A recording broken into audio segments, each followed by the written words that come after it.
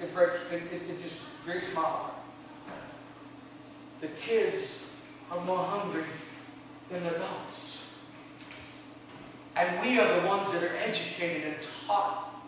We're the ones that have the light. We're the ones that know the will of God. But yet, it takes those that are children.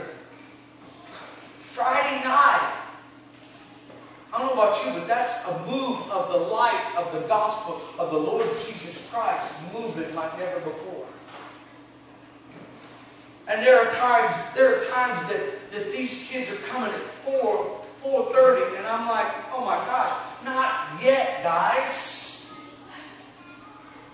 But I remember one lady stood outside the doors 45 minutes before church started because that was the only place she could get the peace of God in her life.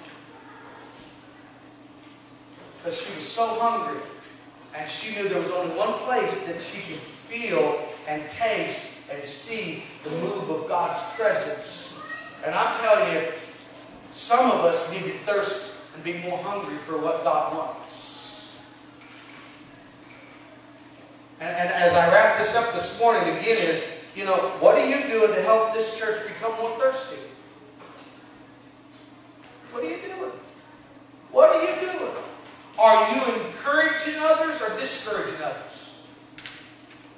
I mean, think about this. What if I went around all day long when I invited people to church now? Now, now when you come to church, don't look at the building because it ain't done. It don't look very good. It don't look good. It's not very good building, but, but God's moving there. How many know that if I look at that area in the wrong aspect of it and I begin to be negative on what God has given us, how many know the Spirit of God will not allow that move to move greater? It's a work in progress. Are we not a work in progress this morning? And I'm asking you this morning as God moves in this place in the next realm of what He's called to do, I'm asking you to seek God this week and say, God, what do you want me to thirst after? Know, maybe there's an area in the church that's dark. Maybe something is just bothers you about what's going on. Then be the light and to help God with the solution. Amen? Let God move through your life.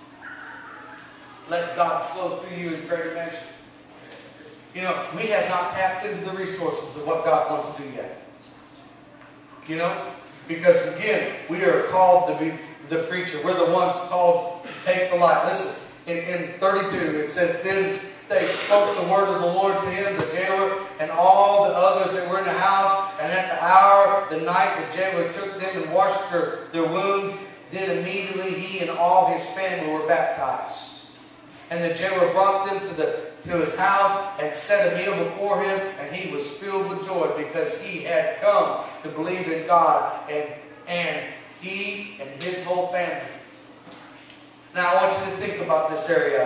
As God moves stronger, I have in my heart to do greater things than what God's given me. This is just the beginning. We were talking about it, Ray and myself, we were talking about it, and I feel in my spirit that this building ain't big enough for what God's going to do in the next five years. Some of you are going, really? You think so? Well, if you're not thirsty, you're just going to be on, the, on, um, on the sideline sitting there going, wow, that's pretty neat that pastor gets to do what they do. No, no, you're missing it. We get to do what we're doing because we are in the perfect will of what God's doing. Are you with me this morning? You know, I keep, when I'm thinking about the move of God, Katie does an awesome job in worship. But you know what frustrates me the most? Is every time we try to get a band, Satan gets in the midst of that thing and messes it all up. And I'm telling you what, and we need to pray that, that, that the devil has no authority in there so we can step it up and do what God's called us to do in greater measures. We're okay, we're doing what we need to do, God's moving, but we can do better if we're all praying together. Amen? We have to thirst for more. God, I'm not satisfied where we're at in the church, but Father, if you move through me, I'll help in any way, way I possibly can to see God move stronger in Jesus' name. Be the solution, not the problem. I said, be the solution, not the problem. We're here to help people, not sustain them. Are you with me? We're here to be a blessing in what God wants to do. And again, this morning, every head bow, every eye closed, we're in the presence of God here this morning. Again, and you're here, and you realize today that God is speaking to you, and you realize today that you need more of God's thirst in your life. You need more of God's thirst in your life. If that's you and you're honest with yourself this morning, you say, Pastor, I want you to pray for me. Lift your hand up right now. If you need more God's thirst in your life, I want you to lift your hand up right now. In the name of Jesus, if you're here right now. Yeah, thank you. Anybody else? Yeah, thank you. I give you praise. Thank you. Father God, I just pray right now for each and every hand lifted for Father, help them become thirstier than where they're at in their walk. In Jesus' name. In Jesus' name. Now let me tell you, those that raise your hand, People do not want you to be hungry and thirsty for more of God.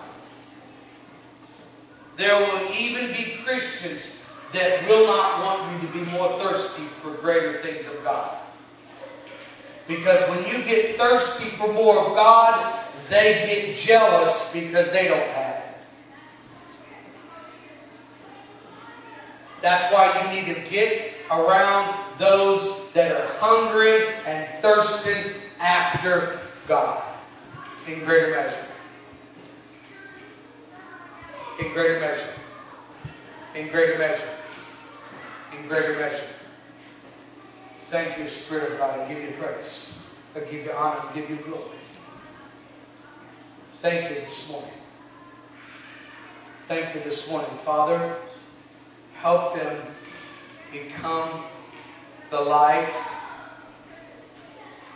of the world and help them to see them being the salt of the earth. Father, help them to see a greater manifestation of what has happened. Maybe you're here this morning and say, Pastor, I've never made peace with God. I'm not where I need to be with God. This morning, I want to I want to make sure that everything's right with God. Maybe you're here and you, you walked away and you need to recommit your life to Christ. And if you're here this morning and say, Pastor, that's me. I need to re recommit my life to Christ. If that's you, just lift your hand. Anybody in this place say, that's me, that's me, that's me. Anybody at all?